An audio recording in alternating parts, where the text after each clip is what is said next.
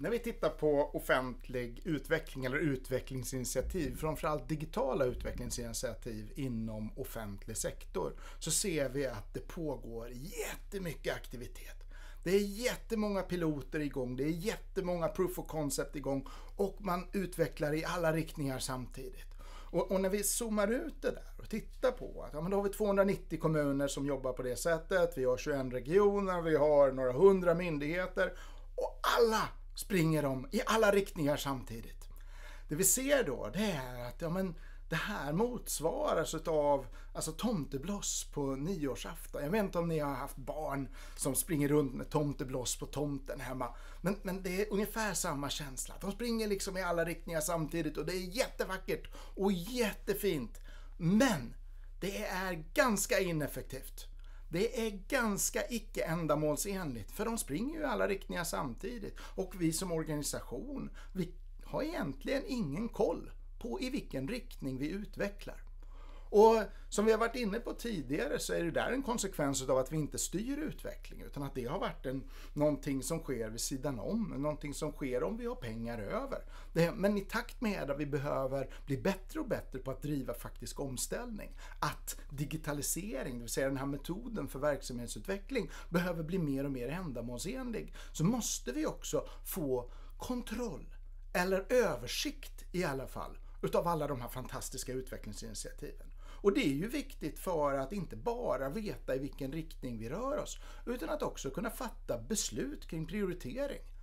Vilka projekt eller vilka initiativ ska vi faktiskt välja att satsa på i dagsläget?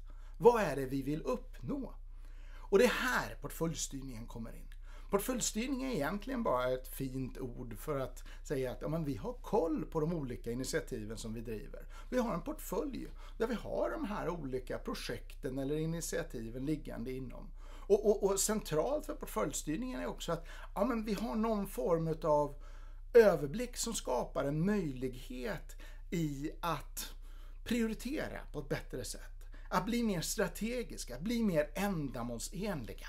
Det är så portföljstyrning är egentligen bara en metod för att säkerställa den här ändamålsenligheten i existerande insatser. Det så, så det vi ser det, kopplat till det här, det är att ja, vi behöver gå ifrån det här läget där vi inte har koll på vad vi driver för utveckling och så behöver vi ta oss till ett läge där vi faktiskt har koll.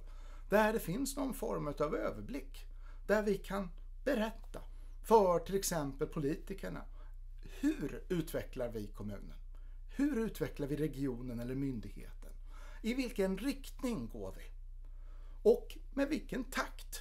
Eftersom portföljen innefattar ju alla utvecklingsinitiativ och därmed också alla de medel som vi har allokerat för att driva utvecklingen. På så sätt så blir ju portföljstyrningen ett sätt att etablera och förstå och kunna kommunicera kring just riktning och takt i vår omställning. Och vad är det då vi behöver göra som organisationer? Ja, men det första vi behöver göra det är att vi etablerar en portföljstyrning som säkerställer någon form av transparens kring utvecklingsinitiativen. Och här är forskningen jättetydlig, att det är inte kontroll vi vill uppnå, utan det är just transparensen. För vad händer om vi på central punkt kan säga att ja, men alla i den här kommunen till exempel vet vad de ska titta för att se vad är det som pågår. Ja, men Kolla här, här är ju tre tidigare genomförda generativ AI-initiativ kopplade till skolan. Men det kanske är så att jag i min skola inte behöver driva igång ett sådant projekt från grunden, utan jag kanske ska liera mig med de här tidigare projekten, eller med de pågående projekten. Vi säger att vi skapar en möjlighet till lärande inom organisationen och en möjlighet att undvika redundanta kostnader och därmed också risker. Ehm, så vi får en större nytta. Vi får en skalbarhet i all den fantastiska utvecklingen som vi driver.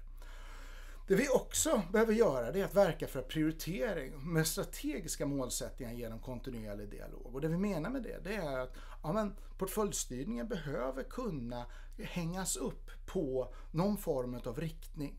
Och, och, och, vad den riktningen ska vara, där finns det lite olika metoder man kan använda sig utav. Men vi behöver enas om ett antal dimensioner för att kunna säkerställa att vi har uppfattningen och en gemensam syn på vad riktningen i vår utveckling är.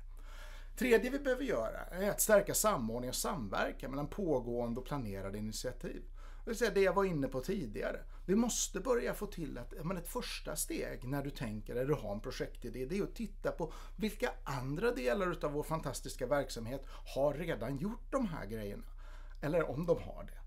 Eh, vilka andra går i samma tankebanor just nu?